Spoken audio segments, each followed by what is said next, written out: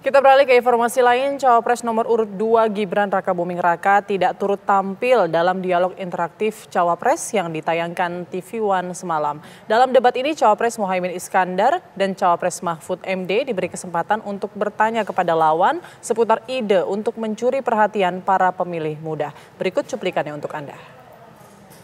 Bagaimana untuk para cawapres kita di sini ada Caimin sama Profesor Mahfud MD agar terutama nih anak-anak Gen Z supaya mereka tidak apatis apa gagasan-gagasan mungkin yang bisa membuat Gen Z, generasi milenial melek akan politik yang damai dan bisa menghargai ini semua. Oke. Silakan.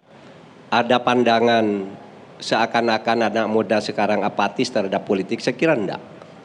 Menurut saya justru kalau itu mungkin gejala di TikTok aja ya, gejala di ya gejala di TikTok. Lah, enggak saya datang ke kampung-kampung ini dalam sebulan ini. Wah, anak muda anak muda semua yang ingin berpolitik itu menurut saya jauh lebih besar yang ingin dan tertarik untuk berpolitik anak muda ini dan memberikan suaranya. Oleh sebab itu, Anda sekarang yang suka di TikTok dan sebagainya itu yang suka di medsos ya diajak yang lain itu karena masa depan Indonesia ini adalah masa depan Anda. Oke. Dan masa depan Anda adalah masa depan Indonesia. Pertama kedatangan Raffi di dunia politik seperti ini sudah satu contoh yang baik untuk kaum Oke, muda. tepuk tangan dulu. Artinya anak-anak muda Indonesia kelihatannya kamu ngomong soal pekerjaan, kelihatannya kamu ngomong soal hubungan antara orang tua dan anak. Tapi sebetulnya ada politik di dalamnya. Apalagi sandwich generation yang nanggung kaum tua dan nanggung adiknya. Tidak ada bisa solusi kecuali politik. Politik is jalan tol menuju solusi dari berbagai tantangan yang dihadapi oleh kaum muda di Indonesia. Satu. Yang kedua, kita harus tampil dengan baik. ya. Para politisi harus mengevaluasi diri. Dia harus menunjukkan gagasan, menunjukkan ide, menunjukkan jalan keluar bagi seluruh proses. Saya mau kasih jalan keluar, dikasih waktu cuma dua menit. Gimana mau bisa kasih jalan keluar? Ibu-ibu ini yang kemudian menjadi terkenal dalam hari-hari ini adalah ibu-ibu hamil. Ya, jadi perhatian-perhatian terhadap asupan hamil, ya. yang dibutuhkan oleh ibu-ibu hamil.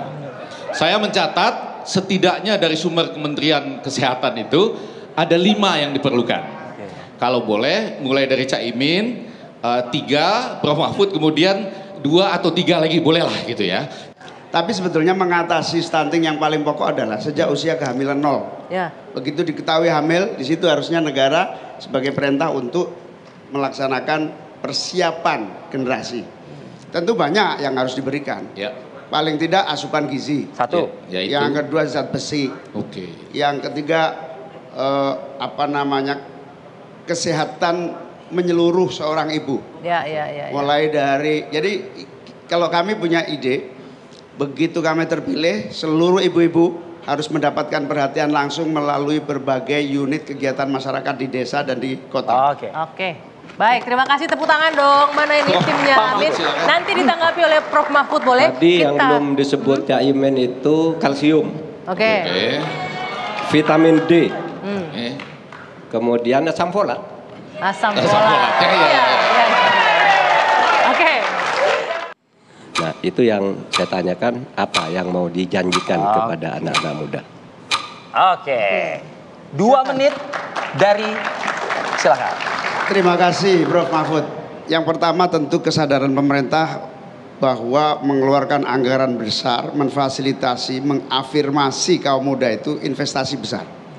Karena diawali dengan kesadaran bahwa valuasinya, nilai tambahnya membuang anggaran taruhlah begitu ya, atau menggelontorkan sebesar-besarnya anggaran untuk kaum muda adalah jangka menengah panjang yang pasti akan memanen untuk negara ini. Nah, yang pertama harus dilakukan adalah menggeser anggaran-anggaran secara khusus agar para kaum muda ini bisa bekerja dengan cepat. Lapangan pekerjaan dibuat, industrialisasi dijalankan lagi, hilirisasi diperkuat lagi. Yang kedua, perlindungan bekerja secara lengkap. Profesi yang paling disukai Anak muda. anak muda hari ini itu tiga aja yang ter- tertinggi apa lalu semua udah tahu bahwa industri kreatif diperlukan, semua udah tahu lapangan kerja. Pertanyaannya kenapa 5-10 tahun terakhir ini kok terasa tidak mendapatkan eh, perhatian serius dari anggaran kita. Nah mungkin itu yang harus menjadi perhatian pemerintah yang akan datang secara lebih serius gitu ya. Jadi kalau selama ini belum mendapat perhatian barangkali kesadaran akan itu semua ya belum belum merata di kalangan pemerintahan, di kalangan DPR, mungkin eksekutifnya juga. Karena kan itu perlu instrumen-instrumen ya. In, instrumen hukum misalnya